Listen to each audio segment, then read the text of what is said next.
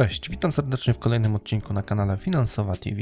Dzisiejszy odcinek chciałbym poświęcić podatkowi od zysków nadzwyczajnych i zamknąć już definitywnie ten temat, przynajmniej na jakiś czas. I mimo, że z prasy płyną całkiem pozytywne informacje o tym, że minister Sasin jest skory odejść od tego podatku, to nigdy nic nie wiadomo. A więc na szybko postanowiłem się przyjrzeć, komu tak naprawdę, której spółce z WIG20 ten podatek grozi. Zanim zaczniemy, zapraszam Cię do założenia konta w Trading 212, gdzie w dalszym ciągu trwa promocja, w której możesz otrzymać darmową akcję do 100 euro za minimalny depozyt.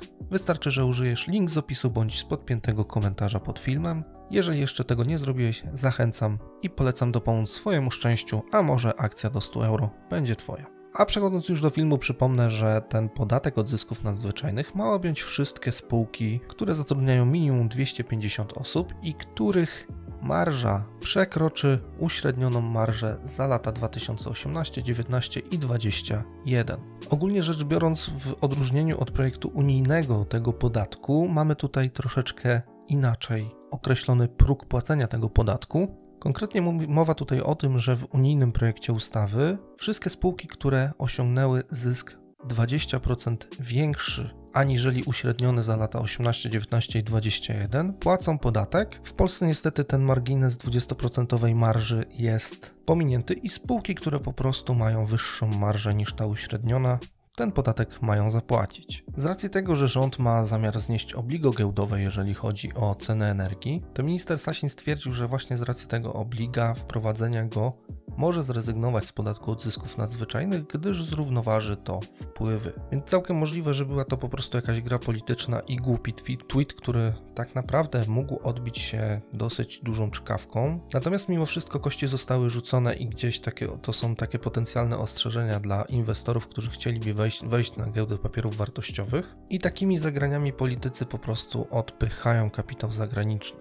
Kto mądry chciałby prowadzić biznes w Polsce, jeżeli chodzi o podatki? No, tak naprawdę mocno się zastanowi, zanim wejdzie na rynek polski. Ale nie przedłużając, przejdźmy sobie do tabelki. Tabelki, którą na szybko sporządziłem, w której tak naprawdę mogą być jakieś błędy, ale przepisywałem dane z Biznes Radaru, do, ten portal wykorzystałem właśnie do tego, żeby zaczerpnąć danych i chciałem po prostu sobie sprawdzić, które spółki potencjalnie mogłyby taki podatek od zysków nadzwyczajnych zapłacić. Na chwilę obecną tak naprawdę ta uśredniona marża jest liczona w taki sposób, że liczymy sobie marżę w latach 2018, 2019, 2021 wykorzystując do tego zysk przed opodatkowaniem i po prostu dzieląc go przez przychody ze sprzedaży. To daje nam marżę, którą spółkę, spółki osiągają, a średnia z tych trzech lat to po prostu ta uśredniona marża, do, która jest punktem odniesienia do podatku od zysków nadzwyczajnych. Jeżeli chodzi o drugi punkt odniesienia, no to bierzemy pierwsze półrocze, praktycznie wszystkie spółki są po raportach półrocznych i tutaj dla odmiany bierzemy zysk przed,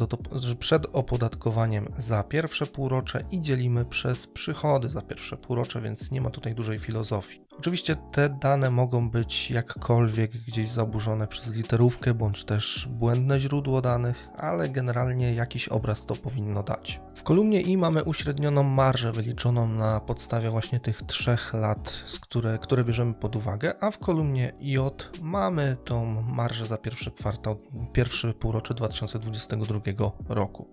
Rozpatrując każdą spółkę po kolei, jeżeli wartość w kolumnie J jest większa od wartości w kolumnie I, no to jest to podstawa do tego, żeby naliczyć ten podatek od zysków nadzwyczajnych. Jeżeli chciałbyś uzyskać dostęp do tego Excela, to link zostawię w opisie do tego filmu, ale jak widać tutaj na załączonym obrazku, ponad połowa spółek może mieć do czynienia z opłatą podatku od zysków nadzwyczajnych. Co ciekawe, z tabeli wynika jasno, że podatku mogą się nie spodziewać akcjonariusze PZU, PKO, PKN-u czy chociażby PKO SA z żubrem, czyli de facto te spółki, które mają akcjonariat Skarbu Państwa, ale jednocześnie nie są w jakimś takim e, głównym przeznaczeniu spółkami, które są spółkami energetycznymi. Podatku mogą również uniknąć Allegro, CCC, Cyfrowy Polsat czy Dino z prywatnych spółek bez udziału Skarbu Państwa, ale w przypadku np. CD Projektu czy ASECO ten podatek może zostać zapłacony. Nawet taki mBank, który nie ma udziału Skarbu Państwa, może ten podatek zapłacić, mimo że już ogłosił, że za rok 2022 będzie miał stratę i dywidendy nie będzie. Wysokiego podatku mogą się spodziewać akcjonariusze spółki Jastrzębska Spółka Węglowa, JSW w skrócie oczywiście, a takie spółki jak chociażby LPP czy Orange jak na razie są na takiej granicy i mogą jeszcze podatku nie zapłacić, jeżeli doszedłby do skutku oczywiście. A znowu taka spółka jak Orange miała bardzo dobry rok 2021, gdzie te zyski przed opodatkowaniem były bardzo wysokie i tutaj zastanawiam się, czy nie było jakichś zdarzeń jednorazowych, które prawdopodobnie mogą być wyłączone, chociaż nie wiadomo. Żeby nie przedłużać, zostawiam tą tabelę do wglądu, jeżeli ktoś ma ochotę. Zapraszam też do zostawienia komentarza. Mam nadzieję, że finalnie ten podatek nie wejdzie w życie i spółki nie będą musiały go płacić. No i Dzięki za obejrzenie dzisiejszego odcinka. Do usłyszenia w następnym. Cześć.